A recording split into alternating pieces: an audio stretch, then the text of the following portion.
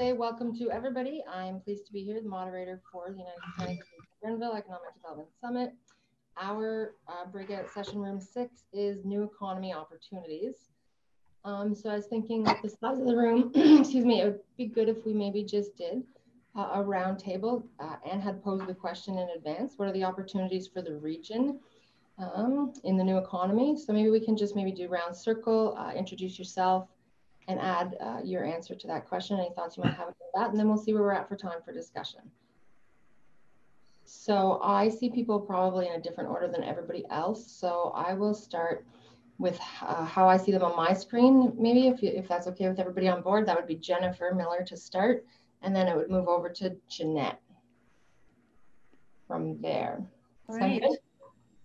Good afternoon, everyone. I'm Jennifer Miller. I'm the Manager of Economic Development and Tourism for the town of Smiths Falls, and happy to be here this afternoon.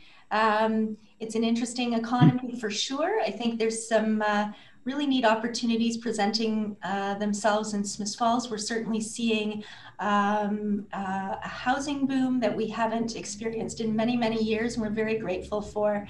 Uh, and that seems to be sustaining itself well through this COVID pandemic. So I think I think I'll just stick with that one and, and speak to that as, as a great opportunity that's um, that's presenting itself now in Smiths Falls. Okay, we were talking about that earlier after um, Dr. Trevin Stratton was speaking. He, he mentioned that. So yeah, that's good. Uh, Jeanette. Good morning, every or good afternoon, everyone. My name is Jeanette Johnston, and I'm the Business Development Coordinator at the Leeds Grenville Small Business Center. We are housed in the City of Brockville um, building, but we serve all of Lower Leeds and Grenville. We're provincially funded, and our mandate is to support entrepreneurs in starting and growing their businesses. Um, and in terms of new opportunities, uh, with the upcoming um, increase um, in the um, internet opportunities um, that was that were talked about this morning, the new projects coming. I think that it opens our rural community up to so much um, opportunity. And I'm thinking of the small businesses because that's who I work with every day, and the the makers. So the the ones who make food from their homes and sell it. Um, I think that uh, what Smith Falls used to have, I'd love to have in, in Leeds and Grenville again, where people can go and make their food from um, a central um, a central building and do their deliveries from there. I'd love to see that happen. And I think it can happen in the future here. Perfect, thank you. So uh, like local food supply chains, this is something that I thought is an opportunity as well. So yeah, I think that everybody's seeing a lot of uh, like shop local and campaigns and things like that. Food's definitely a big sector. So thanks, Jeanette. Um, next, I have Terry Lynn and then Jonah Delaney. Hi there, I'm Terry Lynn. I work for the North Grenville Chamber of Commerce. we represent our business members here in North Grenville. Thank you, Terry. Lynn, did you want to add anything you've seen as new um, opportunities for the new economy? Um, well, we have noticed uh, an awesome amount of growth here in North Grenville. So we have um, we had 20 new startup businesses, um, and we have uh, about nine like store-facing mm. storefront um, businesses opening up um, in the North Grenville area recently, which is incredible during this uh, pandemic. So um, that's been awesome. So supporting them, getting out, meeting them, seeing what they're uh, needing at this moment, and it changes day to day. right. Yeah. Good, great. Okay. Thank you. Um, and Jonah Delaney, are you there? Um, okay. Well, maybe we'll wait for her to come back and come off of mute. Hi, Deanna. Do you want to add anything? No? Okay. I'm just going to. Hi, I'm here. Oh, hi. How are you? Hi. Uh, it's Joan. There's a typo in my first name. Okay, um, gotcha. On there, I I don't know who did that, but uh, it's, I'm correcting it. Um, I am a counselor for Rideau Lakes Township. Okay. I'm not on the Economic Development Committee yet, probably in the new year. And I'm trying to get a sense of what's going on in the Leeds Grenville and specifically Rideau Lakes. Now, I agree with Jeanette. We are a rural area and we're going to need to do online improvements, uh, broadband. But uh, that seems to be happening, and we're seeing tremendous pressure on the housing situation in Rideau Lakes as, as other places. What I would like to get out of this session is an idea of what new businesses would address the uh, influx of newcomers. Thank you. Okay, thanks, Jeanette. And then I did see Deanna Clark was in the room. I don't know if she's going to be participating. Deanna, are you there? Is there anything you wanted to add? No. Okay. Um, so if not, I think I think we've touched on Norm. Hi, Norm. Can you hear me? Okay. Yep. Hi. Did you want to go ahead and introduce yourself to everybody and, and see what you had to uh, add? Sure. Okay. I probably don't have a really good idea about um, new opportunities in Leeds Grenville um, from the point of view of the general business community. We're a small company. Um, our company is called iWasteNot Systems, and we're working in the zero waste and circular economy and sustainable de development uh, area. And uh, we see an opportunity there because uh, Canada is moving and the rest of the world is moving. Ontario as well is moving away from the old waste paradigm where we make something and then we sell it to people and then they throw it into a hole in the ground or a little bit of it, maybe 25% is recycled. We think there's an opportunity to save those resources and, and bring them around again uh, so uh, our company is involved. We do a couple of web apps. One's called a recycling guide and directory, and we call it Recyclopedia. And basically, it tells people for pretty well anything that you want on the face of the earth, uh, what the right way to do to uh, reduce, reuse, recycle, zero waste it is. And the other one is like Kijiji, but it's for waste material for organizations. So we sell those to universities. We have two universities on the system, University of British Columbia and University of Manitoba. And we also sell those to states and provinces like uh, the state of Minnesota. We're just putting a new recyclopedia online for the state of Delaware. So uh, what we're looking to do is grow our business in Leeds, Grenville, and and um, because we do so much business outside of this area, uh, I haven't been involved actively with the local business community, uh, mm-hmm. with you guys and so on, because I don't, we haven't sold locally. Uh, but we're at a point now where we're starting to look at Leeds, Grenville, uh, Kingston, Frontenac, and Prince Edward, uh, and Lennox and Addington, and, and uh, we'll get more involved in this area. Perfect. Okay, well, you've definitely come to the right spot. It's good to meet you. Uh, and then I see we also have Todd in the room, Todd Royer. And if you want to go ahead, Todd, if you're there. Okay. I think then what we'll do is if they hop on, that's great. Just feel free to jump in anytime, guys, if you are there. Um, I'm just going to touch on a couple things and maybe we can just have an open discussion about them. The, the housing market seemed to come up a couple of times. It's also something we've noticed here. Um, so I'm from Valley Heartland CFDC. We cover the northern part of Leeds as well as Lanark County uh, at our CFDC office. We also have seen a big increase in the demand for housing.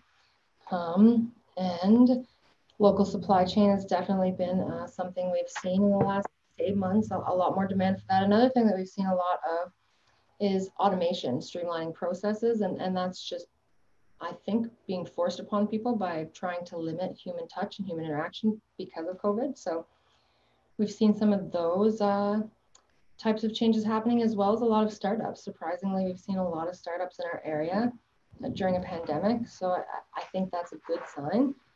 Um, but uh, nothing that nobody hasn't touched on already. So we're seeing all, a lot of the same stuff. Is there anything else that anybody wants to add that they think is in high demand or seeing a lot of, and the internet opportunity as, as well. It's, as long as we can all get uh, connected early. And I'm so. sorry, Tina, I wasn't uh, fully connected earlier. I think when you maybe asked asked me, yeah. um, but I just wanted to say uh, welcome to everyone, and I'm glad that uh, our day is going so well. And I just would like to hear part of your discussion. Good stuff. Okay, thanks, Deanna. Um, does anybody have anything they want to add about the housing market? Um, just because it's something internally we've been talking a lot about, um, and the huge demand for houses, and just you know how local contractors are going to keep up, how municipalities are going to draw people to their areas, and then in terms of the job market and the demographics, like I know here in a large part of Lanark County, Carleton Place, Beckwith area, they've got very high population growth year over year for five years in a row. Um, the houses aren't affordable for first time families, uh, I think.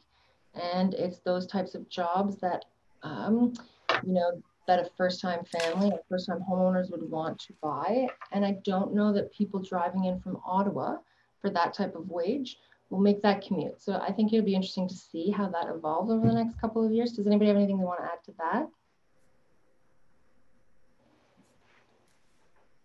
Joan? Yeah, absolutely. Jump in anytime. Okay. Um, one thing we're noticing in Rideau Lakes is that there's a lack of available land for sale for building. And that is partly in relation to the severance policies provincially that uh, would not allow um, owners of large tracts of land to sever more than three lots. So once they've done that, and most of them have, then they are restricted to severing anymore, which means that very few building lots are becoming available. So that's this is something that is a problem for us. Yeah, right. I think um, the more rural areas like that, it's, a pretty common problem. Um, and there are those restrictions in place. I don't know the ins and outs of all of them, but I know I know it's very similar. I think in Beckwith Township, it has to be a, a minimum of two acre lots to build at a lot of the subdivisions. So yeah, I think they face a lot of the same same type of things. Um, another thing that we had noted was that as people stop making that commute to Ottawa, we see that they're also starting to then open their own business and work for their, themselves. And then that's giving an increase in the entrepreneurs we have in the area, uh, which, mm-hmm. which is good. Um, we're in a little bit of a niche area where there's a lot of food and beverage manufacturing and, um, you know, smaller scale, like cheese, kombucha, things like that. Uh, mm-hmm. So I think the pandemic has really brought an increase to those types of businesses. We've seen, we've seen a lot of that. So uh-huh. Joan, has has that subject of the whole severance uh, process gone to um, MPP Clark or MP Barrett? I'm not sure whether it's provincial or federal. Has that been taken to them? I think it has in the past, Jeanette, and um, we we keep getting no back, and we're right now we're trying to finalize our newest um, official plan, our updated one, and we're asking for permission to allow a few more severances. There is some pushback. We're pushing back again ourselves. Mm-hmm. Mm-hmm. So it's a tug of war. But uh, until then, like we have this demand, people cruising around looking for properties. They're not even, some of them making it to market. They're going so quickly. Yes. And um, it's uh, it's a bit of a problem because then your economic development gets stifled because your population is not growing. Mm-hmm. And as it was pointed out, there are a number of people wanting to move here and open their own businesses. So, you know, it, it, until we can release more land, we're we're sort of compressed, I guess. Right. So the opportunity really lies in figuring out what it is that the powers that be want and what lies behind their decisions so that you can help um, mitigate those concerns and get things moving. I think it's um, the, province wants an intensification in the settlement areas. They want to to consolidate all of their services into these, these settlement communities. And the available land is not in those communities necessarily, it's outside. So it, with the province saying like, we want development there, but we're saying, but the land isn't there. There's a dichotomy. There's that um, problem with with freeing it up. And until we can do that, like I said, we're we're stuck. Right. Hands are tied. If if you kind of look at look at the situation, uh, that probably is true in Westport and Rideau Lakes, but I would think in Brockville and Prescott, uh, they have a different issue. There's a fair amount, I think, of developable land within those cities. There are lots of vacant properties. And in that case, intensification and rezoning maybe would, would uh, help out. Uh, so it probably one size doesn't fit all in, in that case, yeah. at least from what I could see. You're right. Yeah. Does the does any of the local municipalities have any investment readiness sites or any sort of a resource available uh, for people to go and see uh, available land or service lots or anything that's available in their area? And if they do, who keeps it updated? Okay. I think it goes through each municipality and then the county also supports that and the city of Brockville and the town mm-hmm. Prescott and the town of Gananoque as separated municipality. So mm-hmm. kind of gets spread out a bit and maybe a bit hard to navigate. But if potential business owners come to the county or the city or to us, mm-hmm. then we can direct them back to the municipalities. Yeah, typically that's uh, what we do as well. We direct them back to the municipality, but it's uh, it's hard to ask municipal staff to keep, you know, the those sorts of things updated and constantly updated because there's right. a lot of work involved in it. So there's probably an opportunity there um, for either counties or municipalities to kind of work together and have some sort of a collective database or template uh, that they all use. So it's all familiar um, to the person that's looking, you know, they move from one municipality's website to the other or the county or the county website and they're seeing the same thing, you know what I mean? Um, so that could always be an opportunity, I think. Um, but I, I, do. Would find- there be an Would there be an opportunity uh, for the the um, economic development agencies and the municipalities to work together to do one website so that only one person had to keep it up, and rather than having five or six? I know that it's competitive, and that uh, municipalities might not want to participate, but it would be maybe a little bit more efficient. Uh, yeah, yeah, that's exactly what I was getting at. Yep, it, there's definitely benefit in it. Of course, I, I think anytime you can bring everybody together, you know, collectively to work on something like that, there's benefit. Uh, we're we're launching something very similar to that uh, here in Lanark County um, over the next, I'd say six, eight to ten months, something like that. But definitely something that Leeds and Grenville could look at establishing or in which municipalities are interested. Actually, I could add uh, add to that. Um, for several years, we did have on our county's Invest website, we had uh, uh, available lands and buildings, which we actually was fed into from real estate companies on a on a nightly update. Um, that that has since we've have have to revamp that, but that is something we're planning on doing in the future because it worked quite well actually. Yeah, I, I bet. It's interesting. We talked about uh, the role that maybe real estate agents could play in, in that type mm-hmm. of thing and keeping it updated and stuff like that as well. So yeah. I think what happened was there was a change in the various uh, uh, realtor boards in this area so we couldn't continue with the feed that we had been using. So now we have to redo these sorts of things to get it back up. But yeah. that is a plan. That is in our plans. Yeah. Oh, yeah. We uh, we did include it as well in ours. And when we looked at this county and Lanark County as a whole, it really came down to just having one resource for businesses, really. Um, there's, you know, many chambers, DBAs, business associations, all the different services, investment readiness plans, things like that. So kind of bringing it all together full circle was the goal there too. Good. Is there any of the other, I think we just have maybe three or four minutes left. Any of the other topics um, that anybody wanted to share, maybe an example of or ask about um, the internet opportunity, maybe I think that's always a hot topic in our area and the ability for everybody to get access to internet. We always seem to be told that it's coming and it's just around the corner, but I think that the um, the pandemic really opened a lot of people's eyes to just the amount of people that don't have access right now. And the, we looked at uh, school age children being at home and having to do online school. I think that really brought awareness to it. Anybody else? Just seeing the um, amount of growth in our, I live in Brockville right now, just seeing the amount of growth in Brockville in terms of people coming from Toronto and Ottawa because they mm-hmm. can telecommute now. And um, having that broadband is going to be so important for us to keep that movement going.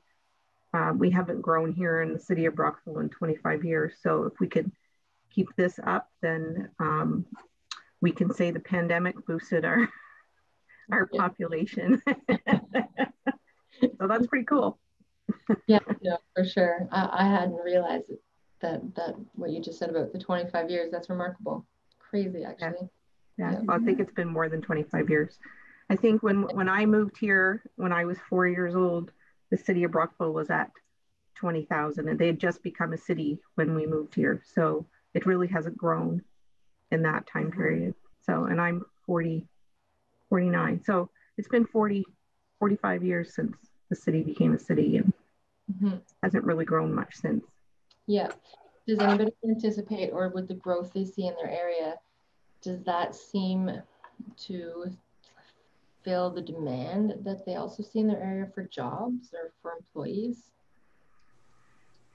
Like, do you see them being equivalent or enough? I haven't really seen or heard anything anecdotal either. I think people are keeping their jobs from away, like whether it's Ottawa or Toronto. Mm-hmm. Deanna, have you heard anything around? Because we have such a hard time getting talent and people, resources here to do the work that needs to be done already. I think it is starting to change, but yes, the last census, there was not very much movement in terms of population growth. Uh, I think about half of our municipalities, of all the 13 municipalities, uh, numbers went down. Uh, one, a few went up uh, slightly. The largest growth was, of course, in North Grenville, uh, which you know has become uh, a bedroom community for Ottawa and all along that corridor there.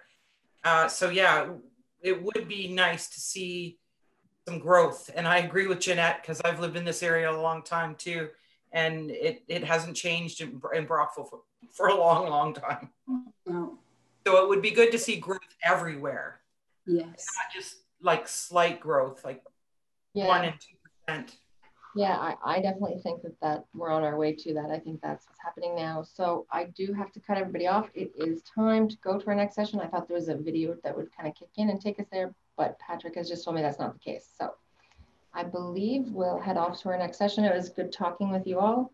Uh, enjoy your next session and have a great weekend. Uh, my name is Tina Stevens. Uh, thanks for hopping on uh, this breakout session today. It's the last one of the day before everybody gets to start enjoying the weekend, so that's nice. Um, welcome to the United Counties of Leeds and Grenville ECDEV Summit. So this breakout session is new economy opportunities. And I think then what we can do is maybe just go from uh, person to person if you want to just maybe do an introduction and uh, some answers to the question that was posed. What are the opportunities for the region in the new economy? If you just want to throw some things out about that, and then we can see what we have collectively uh, in terms of commonalities and maybe you have a chat about them time permitting. So I'll start with what I see on my screen, and that would go with Cindy Bolton first, and then Kathy Shepard, and then Michelle. Sound good? All right. Hello. Good afternoon. My name is Cindy Bolton, and I'm serving the United Counties of Leeds and Grenville as the Digital Squad Services member.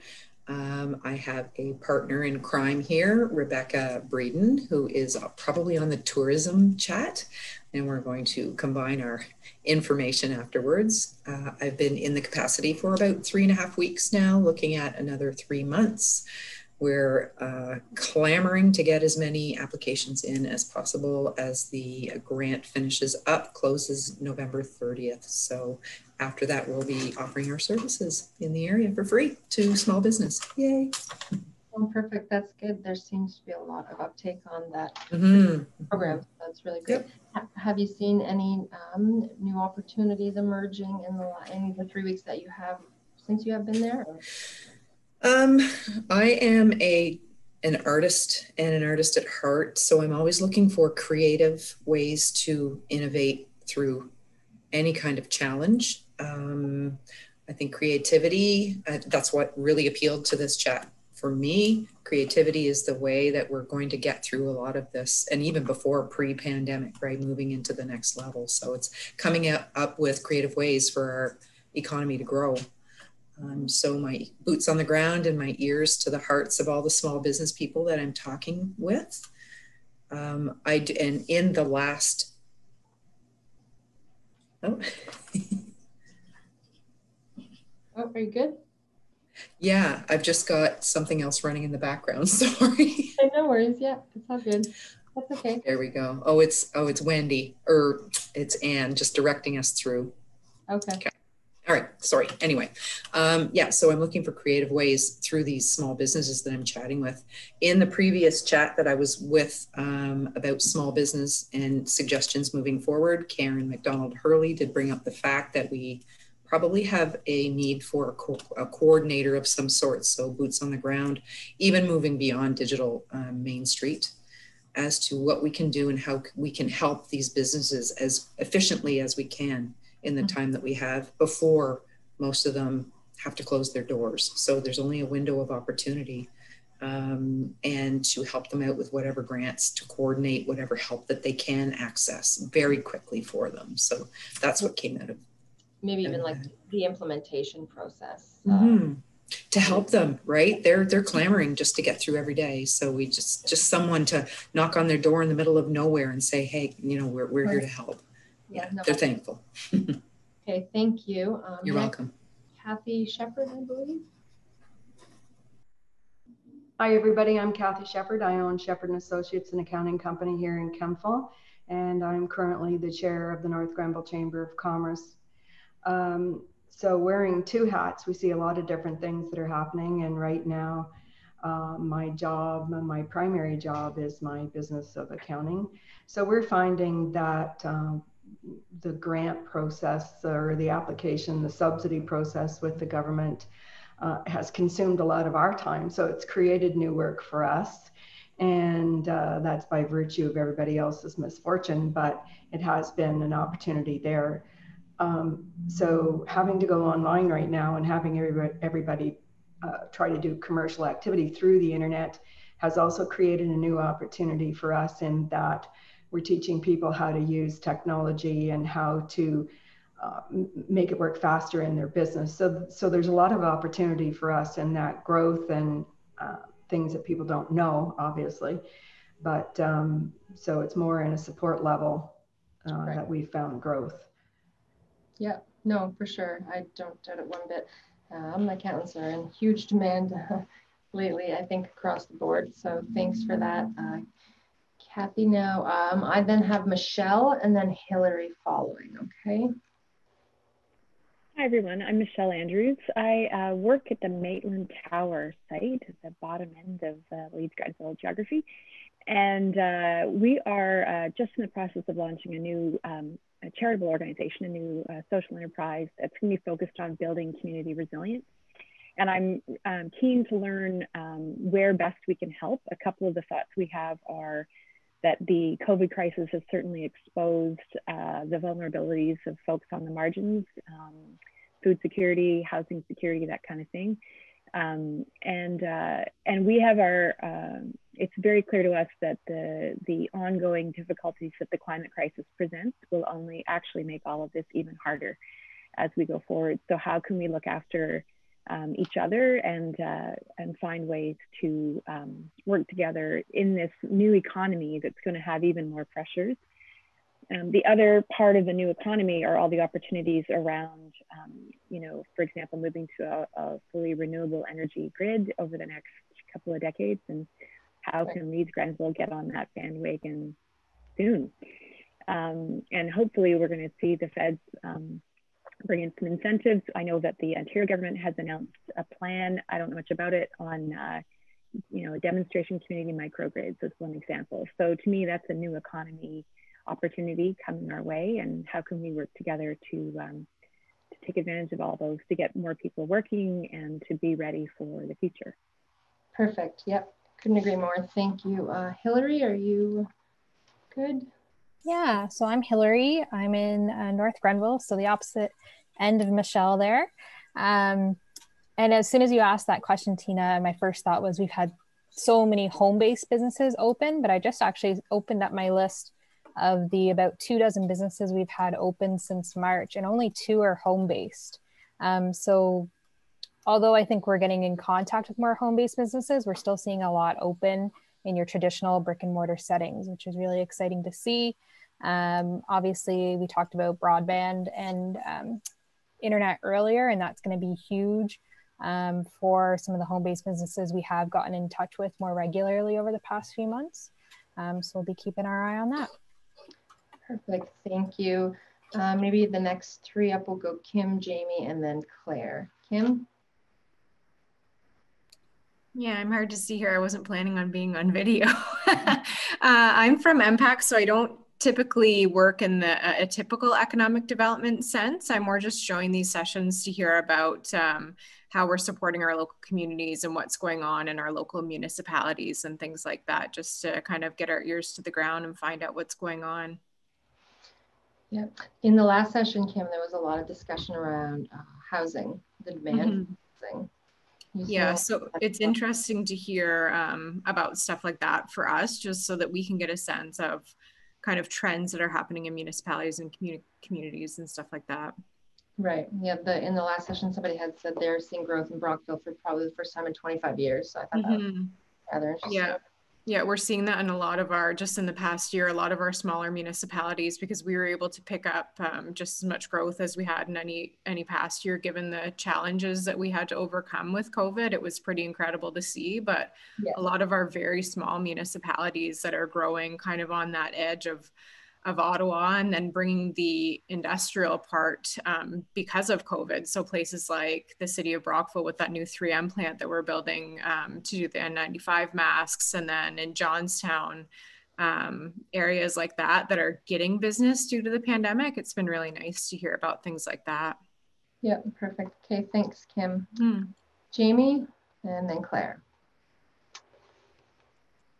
Hi, uh, this is Jamie with St. Lawrence College. Um, that's a pretty big question. I think that with COVID 19, there haven't really been new trends or industries that have come forward. It's just more been a massive accelerant of trends that sort of already existed. Uh, so obviously, e-commerce is is booming, and I don't see that slowing down post COVID. It's going to be something we that's just really here, really prevalent, and a huge growing industry that we need to make sure uh, we're part of and we're supporting. Um, you know, there's also just new industries like cannabis production. I, I know, like obviously that's happening in Smith Falls, but um, you know how can we make sure that we're a part of that that industry as well as it continues to grow over the next two three ten years? Um, you know as well as as we heard earlier some of the discussions if there's going to be five billion dollars in investment in ontario for the auto industry um, particularly with a big focus on electric cars um, we need to make sure that you know we're getting a piece of that somehow like I maybe not in core production, but yeah, some feeding into it. Uh, And, and then I guess just not we if we're looking if we're really kind of thinking blue sky and looking to 2030, let's say, uh, the traditional economy is not really going to look the same. So you're going to see the gig economy growing. You're going to see the sharing economy growing, access economy. Things like Uber are going to be creeping into more rural communities. Um, so we want to make sure that we're positioned to take advantage of those opportunities or to attract those types of opportunities. Yeah, you're right. I, I completely agree, as well as ensuring like equitable access to resources, I think will be uh, important because I do believe a lot of these trends are, you know, they've kind of been kicked into high gear. They were on their way anyway, but now they're definitely uh, getting us there faster. So thank you for that. Somebody had asked in the chat that I restate the question. So the question was, what are the opportunities for the region in the new economy? And then we'll go on to Lisa, then Colin, then Brian. Hello. Um, I do agree with uh, Jamie's comments with regards to Uber. Um, I think from an employment perspective, when you, if there's any employment agencies on board to really push, if people are looking for a part-time job or other opportunities, I know that um, from a tourism perspective, being able to get from the lock station to the towns or to the local attractions is a big challenge. Um, there's only one or two taxi companies that actually do it now, and their their rates are crazy. Um, as well as they can take up to three hours in order to get a cab to the lock station and take you somewhere, and and be able to like take you for dinner. Um, so that is a huge challenge, and I know even in Smith Falls, there was an Uber Eats type company that was trying to come to the region to deliver takeout for people, but there's a demand for takeout, but no one applied as a driver. Oh so, no, it's going really strong. It's called Valley Eats. They're here in Smith Falls, and um, yeah, we use them probably three times a week. Yeah. Yeah. So I do think if if people are looking for part time opportunities, you remind people that that's an opportunity. Um, so I think people forget that that is something they could easily do from a part-time perspective, especially knowing that we have a lot of retired people in the community. Um, yeah. That they may really enjoy talking with the local tourist and, um, but not working every single day, just working for a couple hours a day um, yeah. is probably one of the things that is lacking most in the region, especially mm-hmm. even last year, there was no shuttle from the winery to the harbor because of COVID. Um, right. So there was a lot of people who wanted to get to the winery, but they didn't want to have to walk. So they weren't able to get to the winery, for example. And so someone, if they were just a local Uber driver, and everyone coming from Toronto and Montreal are used to Uber, so they probably already have the app on their phone. Right. Um, yeah, for sure. It's interesting. We I was recently at an event where we talked about the exact same thing and, and about you know the aging population and part-time work. And I think what it came down to in that conversation was that the rate of pay. Um, do you know what I mean? A lot of people in that lifestyle um, probably aren't wanting to take on those types of jobs for the pay that they're, they're probably willing to pay. So there's a way to kind of find out maybe and fill that gap a little bit more might be beneficial. But thanks, Lisa. We'll move on. There's Colin, Brian, and then Eleanor.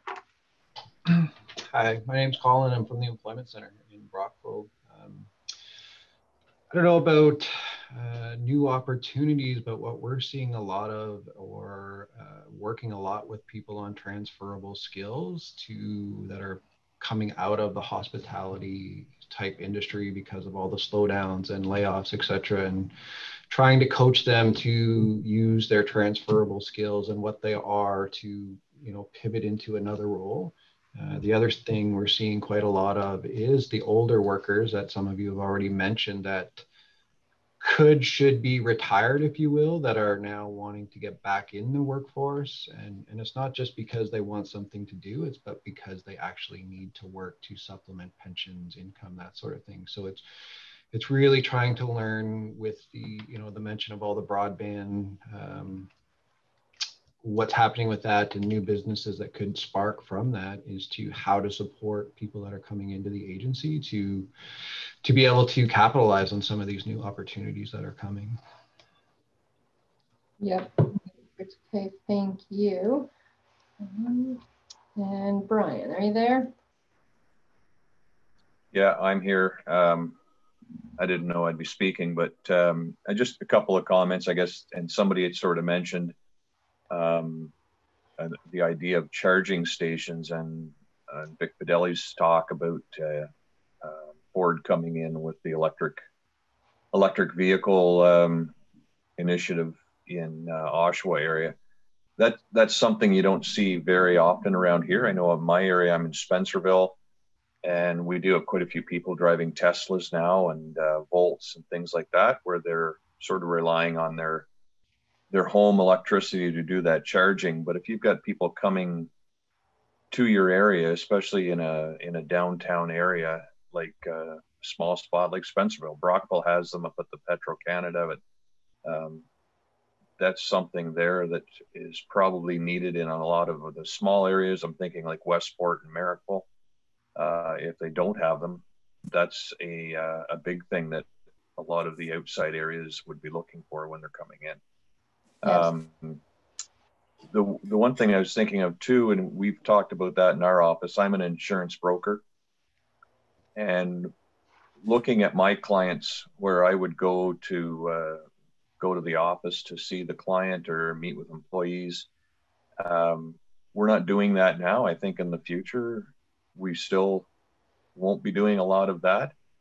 So I'm thinking forward to a lot of the commercial real estate people there has to be something that uh, probably some initiative in the future where we're going to be looking to try and see how do we get people back into commercial space so that we don't have uh, empty commercial buildings and uh, vacant real estate sitting around either.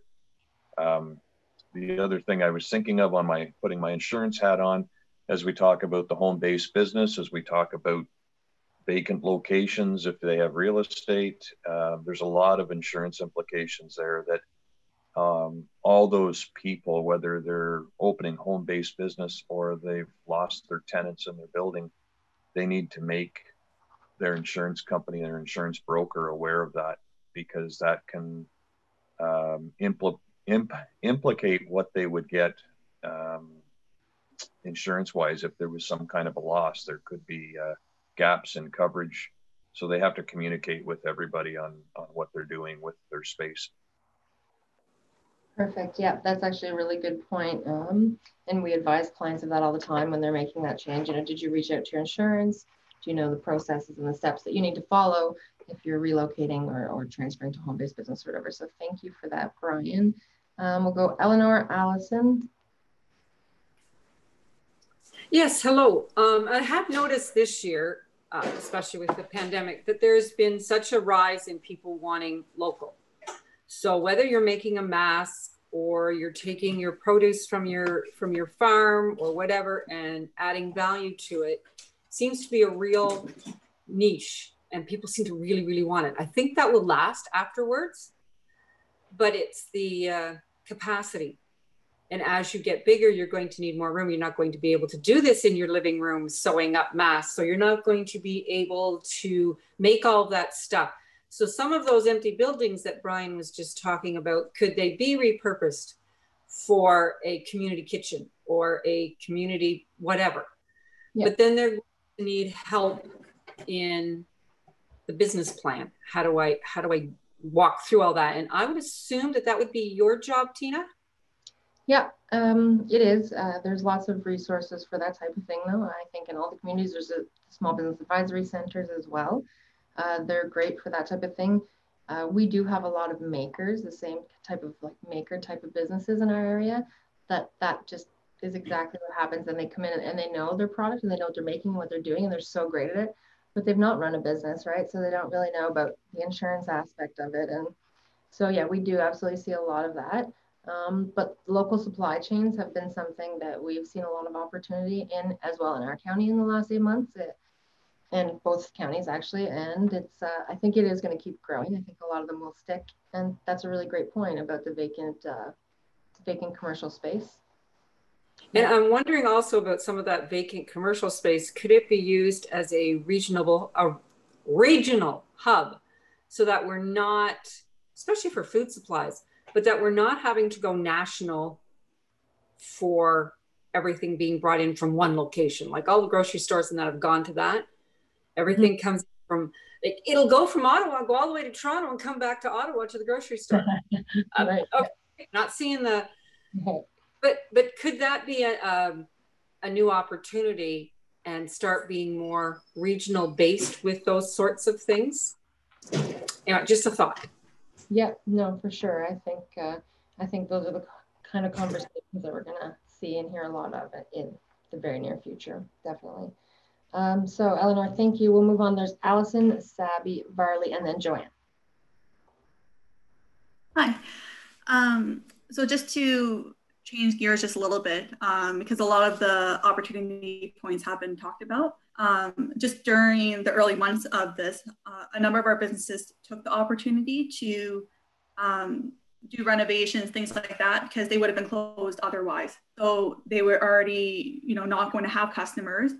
So versus closing later on down the road, um, you know, and increasing that span without customers, they kind of uh, invested in themselves during that time. Yeah. Um, yeah. Another thing is um, some of our businesses, you know, expanded their programs to some degree. So I know of one that partnered up with another um, a, a cidery place. So they sold uh, prepared meals. So they joined up with the cidery place and then they, you know, sold them as packages. So it, it helped each other out. Yeah. And then just in general, we did have a few new businesses uh, start up around here as well. Yeah, we've seen lots of opportunity for collaboration as well among businesses to do just that type of thing. So that's a good opportunity. Definitely agree with that. Thanks, Allison. Uh, Sabby? Mm, okay, we'll move on. Varley, are you there? And then what about Joanne or Sandra?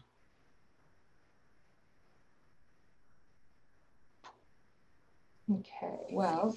Sandra here. I had trouble dialing in and I only just came in on it just uh, moments ago. Okay. And I have a great interest in um, the new uh, economy, so to speak. And I just wondered if you started things off by defining what you mean. Uh, when I talk about the new economy, I'm talking about the bioeconomy and the interconnections between um, um, uh, the wide variety of uh, manufacturing and so on that we have, the opportunities around agriculture, and how do we uh, take advantage of the maple products, for example, in our area, and the um, the potential potency of the maple industry in our area as part of the new bioeconomy. So I don't know if all of this has been covered or if I'm in the wrong session, but uh, yeah. that would be my, I am in the wrong session? No, you're, you're in the right session and some of it has been covered. Um, I love that you did touch on the, the maple syrup thing. It's something we talk about a lot here. Um, we did talk a little bit about local supply chains and those type of things. So yeah, you're definitely in the right session.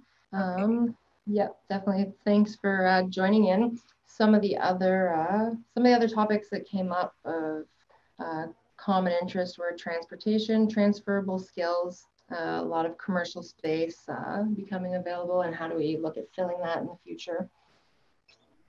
Um, and just those types of things. And we only have a couple people left to kind of go through and chime in.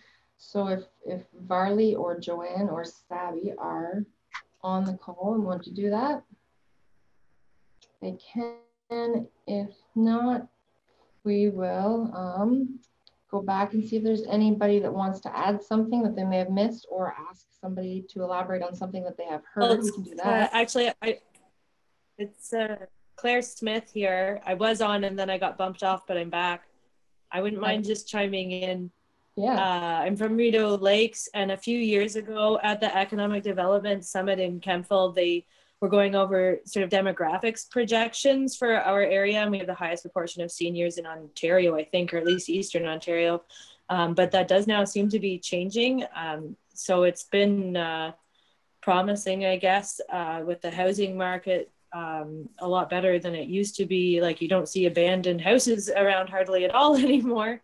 Uh, you just see sold signs. So that's I think an opportunity. And and now on council at Rideau Lakes, we've really pivoted from you know any growth. We need growth. We need any growth. And now I think the new challenge is going to be how do we want to grow and how do we, you know, direct that growth towards our. Oh, think maybe Claire got disconnected.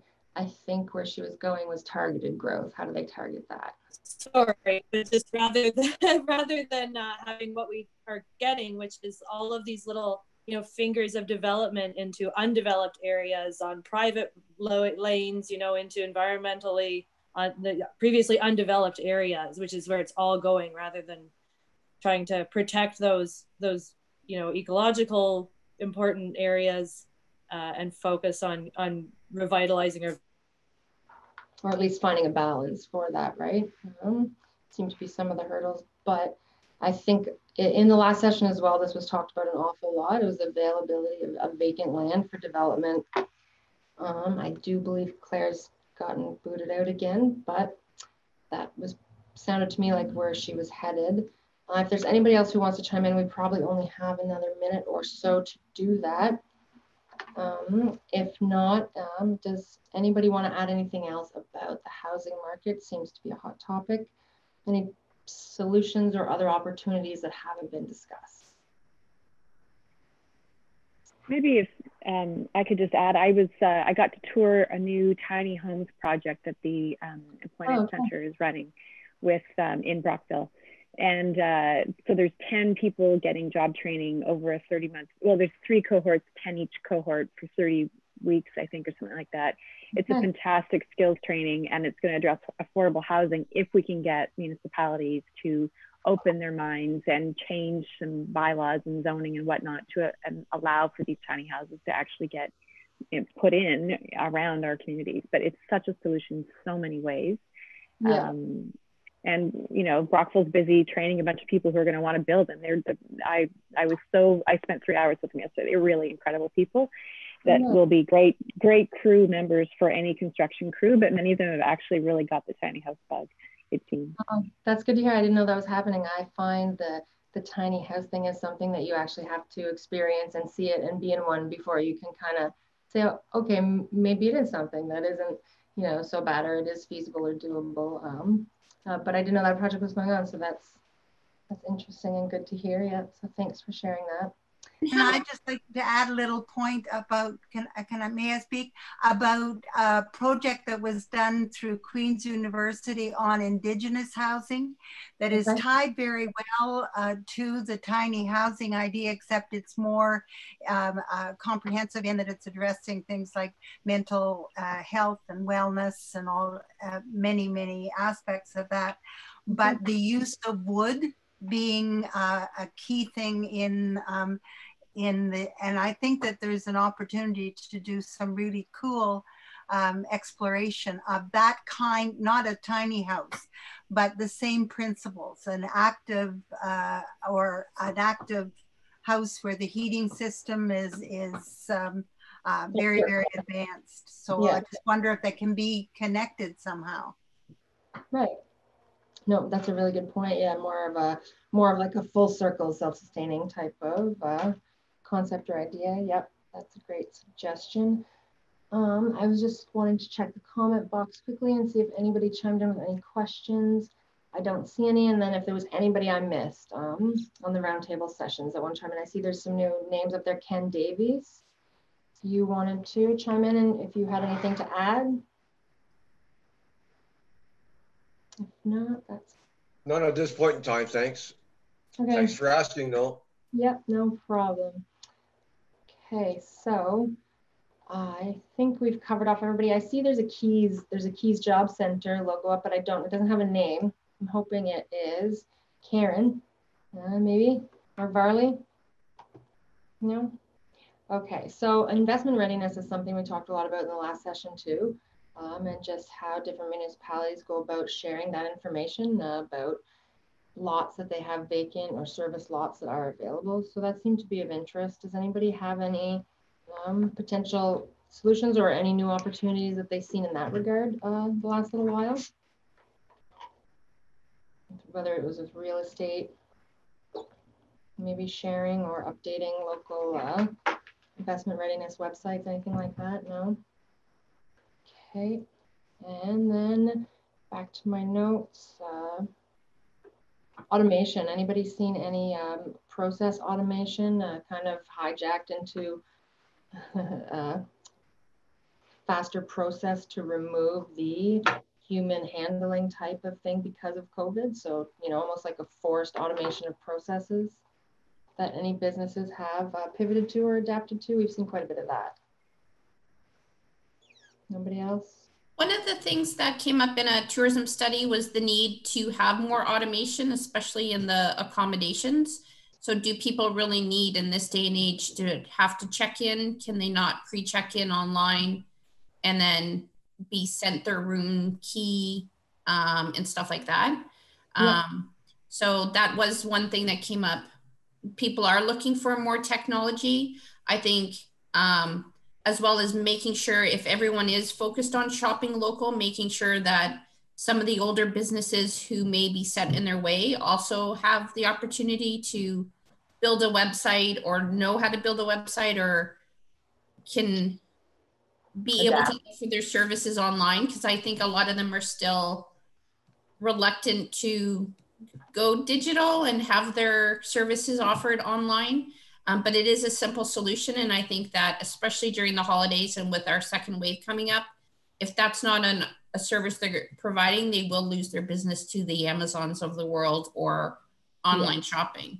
So it'll yeah. be sad to see some of the mom and pop stores not survive because they don't offer online shopping.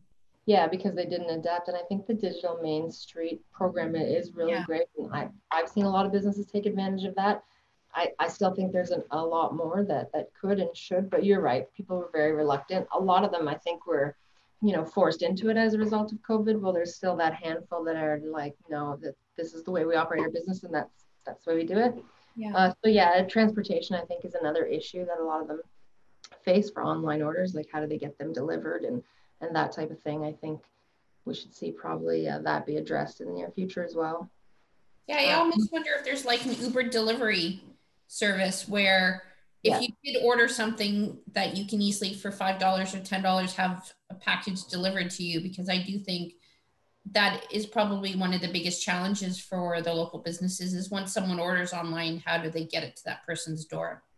Absolutely. Yeah for sure. Because not everybody's as big as amazon right? So yeah sure. Uh, internet came up in, in the chat box rural internet which yeah, that was a big topic of conversation in the last session too. I think especially with uh, students having to be homeschooled and you know taking their classes online, it really brought attention to the fact that you know a lot of families, rural families, don't have internet and didn't have access to that for school-age children. So I think that shed another type of light on the internet access that we are lacking in some areas. So you know, there's always uh, always steps being made to improve that, but I think it should probably pick up faster now. I see that it is 206, so I don't know. I think there's going to be a video that kind of kicks in at the end, like a wrap up video. So we may all just get cut off from speaking and that comes on. So just in case that happens. Um, but thank Sorry, you all. just just interrupt. It's Patrick with Baldwin's. You just go ahead and let me know when you want me to roll the video. Sure. Um, maybe if there's just a, another minute, if anybody wants to chime in with anything or grab other people's contact information, you can do it in the chat even if you wanted. Mm-hmm. I just wanted to thank Valley Heartland for being a resource. I know a lot of the businesses didn't know where to turn this year. And I know you and your team have been very helpful in pointing people in the right direction, how to fill out the grants and stuff. So um, I think you guys have had a very, very busy year, as well as a lot of the people in the ECDEV um, within the region. So just a kudos to everybody who have supported all the small businesses as a resource with all of your communication, all of your emails. So kudos to everybody um, on your team as well as um, all other people within the region who've helped to communicate out as things were changing on a weekly basis. Right. Yeah. No, for sure. Thanks, Lisa. It's uh, it's definitely been a collective um, and joint efforts all around. So that's great. Thank you. Um, with that, I will sign off and say everybody have a great weekend. Thanks again for joining our chat room and chatting with us today and for attending the summit. Um, take care, guys.